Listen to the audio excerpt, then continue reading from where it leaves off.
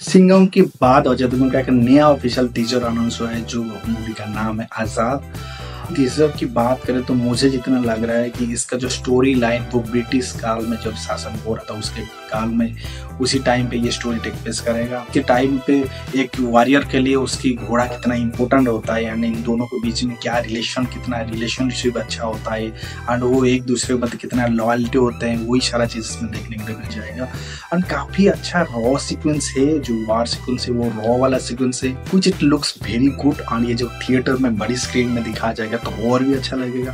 सो so, मैं काफ़ी personally काफ़ी एक्साइटेड हूँ अच्छा लगा टीजर देख के। अजय देवगन को ये रोल काफ़ी शूट कर रहा है क्योंकि आर आर में का छोटा सा सीन था वो भी काफ़ी इम्पैक्टफुल था।